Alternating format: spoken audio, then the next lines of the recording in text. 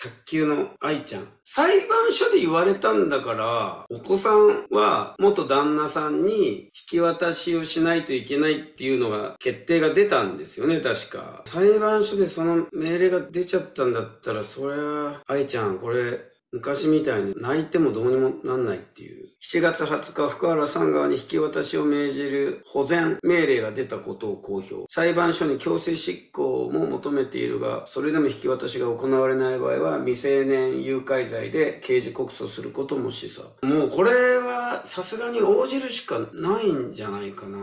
法律の解釈でしかないけど、子供の気持ちは全然含まれていないし、そもそも意思表示ができるのか。かだってうちの長女6歳ですけど、6歳だったとしてもパパとママがどっちかにつきなさいって、どっちのことも好きだった場合は、そんな苦渋の決断させたくないもんな、俺は。